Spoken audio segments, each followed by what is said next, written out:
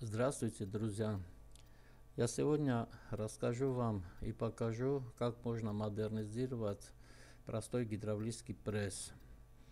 У нас на производстве вот таких прессов много было, ну как для вырубки деталей. Их много, это очень простой пресс. Тут э, только два магнита. Вот это вот этот пресс я нарисовал вот схему примерно как выглядит. Вот это сам станина, здесь гидроцилиндр, здесь э, находится штамп, это панель оператора сюда управляет, это масляный бак, внутри гидронасос, двигатель, предохранительный клапан, обратный клапан, распределитель. Вот это такая простая схема. И это гидравлическая схема этого пресса. Ну, принцип очень просто. Делаешь пуск, двигатель включается, кнопку 1, кнопка 2 одновременно нажимаешь, это вниз спускается шток, вырубить деталь, руки убираешь, это опять вверх поднимается. Я потом подробно видео расскажу, как это все получается. Теперь я этот схему покажу. Вот я здесь сделал электрическую схему этого пресса. Ну, простая схема. Вот э, автомат стоит, пускатель, теплозащита двигателя, двигатель. Вот этот пускатель, электромагнит первый, второй. Здесь релешки можно поставить. Вот э, ардуиновский блок питания 5 вольт. Конечный выключатель ВК-200 и 4 кнопки. Вот это здесь я нарисовал, как все это соединить. Вот это такая простая схема. Так, теперь логику покажу. Я сначала логику делал на OvenLogic, вот э, среди программирования, вот OvenLogic. Здесь легко его программировать. Здесь, ну как сказать, э, здесь есть э, вот это, можно испытывать его, симулятор есть, можно испытать схему. Я здесь сделаю схему, вот его симулятор включили, там вот его запустили, и здесь сразу видно, где чего, где нули, где единицы. Допустим, пусть двигателя делаешь, вот нажал кнопку, вот двигатель включился, вот здесь загорается, это стоп, все, сбросился. Вот это конечный выключатель. Когда конечный выключатель включен, это электромагнит первый выключен, вот это второй магнит включается, это вверх поднимается, до конечника доходит, раз отключает и здесь отключился. А это двуруки управления я сделал, чтобы вот это в целях безопасности. Вот кнопка один, кнопка второй. Вот обе время одновременно надо нажать. Раз нажали, раз нажали. И все. Так, да, я тут еще задержку сделал. Так, включился выключился. Раз, если один э, включить, больше двух секунд держать, э, это уже второй не будет включаться, уже магнит не будет включаться. Включил, не включается, выключили, обе одновременно не надо, задержка 2 секунды тут стоит, 2 секунды, вот здесь 2 секунды задержку сделал, вот 2 секунды, надо успеть вот в течение двух секунд его включать. Раз, раз, включили. И это включился. А еще здесь э, задержка у меня один секунд стоит. Это для того сделано, чтобы обе магниты одновременно не включились. Можно его не сделать. Ну, я делал так лучше, мне кажется. Так, кнопки отпускаем. Вырубился. Вот такая простая логика. Я здесь его как бы настрою, настраиваю, чтобы как работоспособная схема у меня уже получается. Я отсюда перевожу все это на FL Pro. Вот здесь уже могу программировать, чтобы Arduino мог программировать, а то я не могу так программировать. А здесь э, функциональными блоками легко, точно так же, как там. Вот посмотрите, выходе у меня две А, тут еще один, туда вниз ушел. Вот выходы. Какие пины здесь? Так, электромагнит первый, девятый пин, второй, десятый пин и двигатель восьмой пин. И, а и входы тут. Так, кнопка 1, кнопка 2, пин 5, пин 6, потом конечный выключатель, четвертый пин, пуск, второй пин и стоп 3 пин. Вот это 5, 5 пинов тут используется. Да, я еще хочу тут сказать, здесь везде я вот это ставил, инверсию ставил, там везде вот это подтя подтягивающий резистор стоит на входах, а это подтягивает, э, подтягивает к плюсу, поэтому надо минус туда подавать, чтобы работал, и там в схеме тоже посмотрите, вот здесь тоже вот минус надо на кнопки подавать, потому что там подтягивающий резистор стоит на плюсе. Это уже внутри процессора так. Этот. Вот так. То есть это я переделал. Это, ну как сказать, это так не актуально, вот как бы это переделывать. Это очень простая схема. Просто вот попробовать или думаю, давай попробуем на Arduino посмотрю, что получается. И я еще это сделал. Видео сделал, все это как работает. Сейчас я видео включу и вы посмотрите, как это все происходит.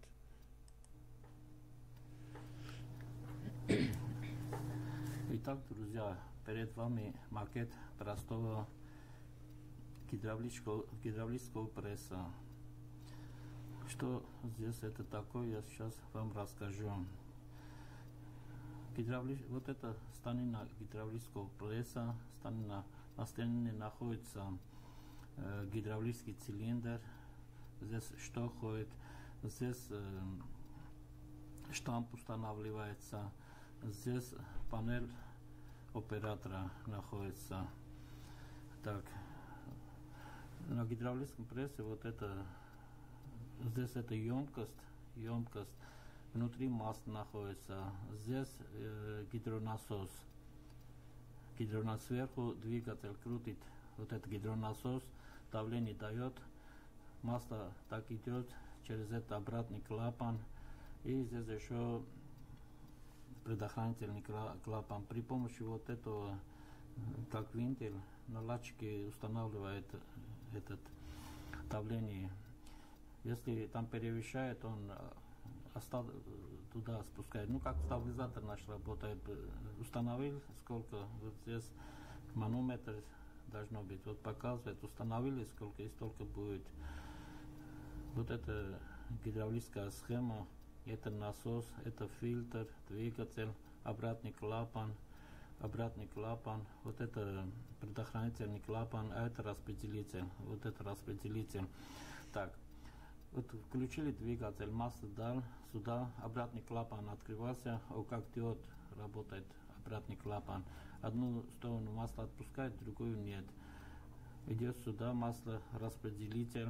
Когда обе магнита выключены, масло обратно вот сюда, вот через это вот сюда бак обратно идет.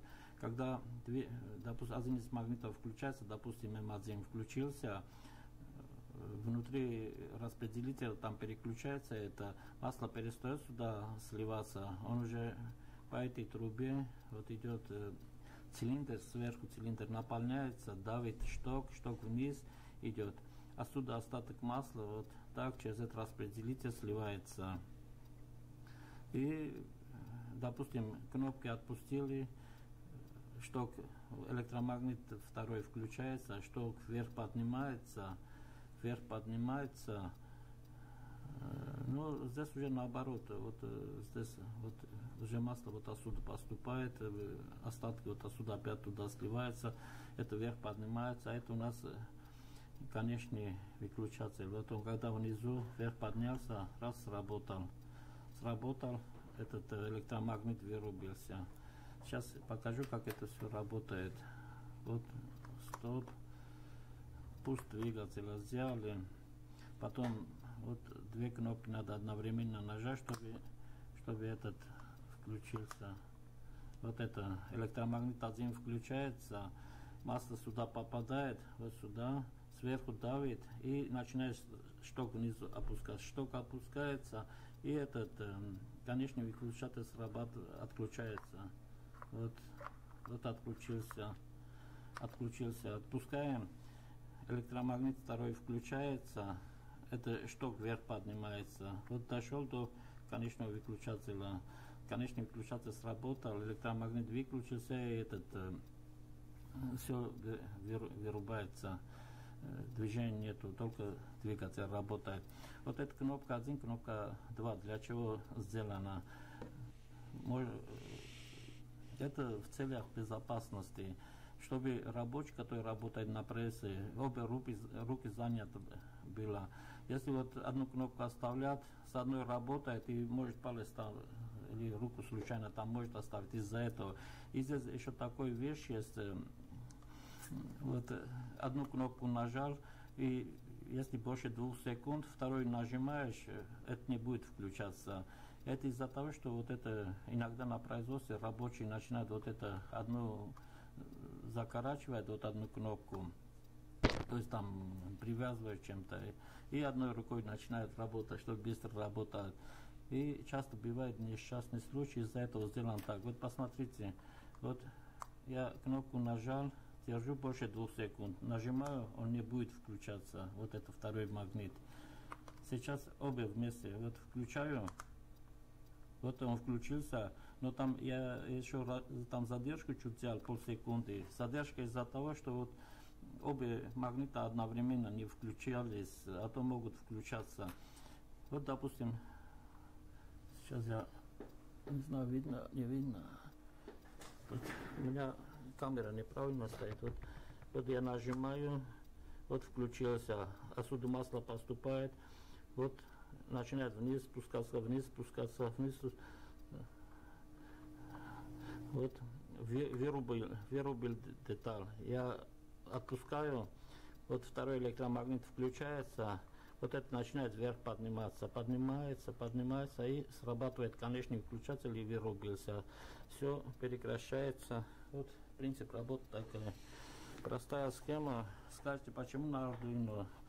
Тут просто я хотел попробовать вот свои силы, а то этот, э, как бы на Arduino попробовать, как это все получится.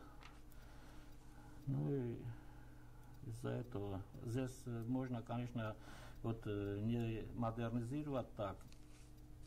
На самом деле вот это пресс там в электрошкафу у него два,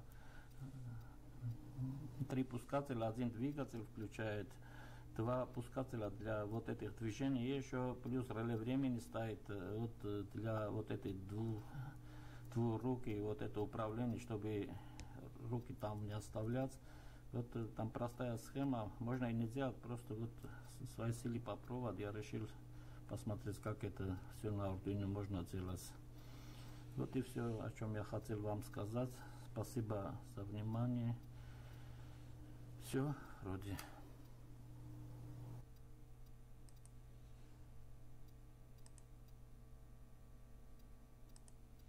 Так, вот вроде все, что я хотел вам показал. Сейчас вы скажете, почему так подробно.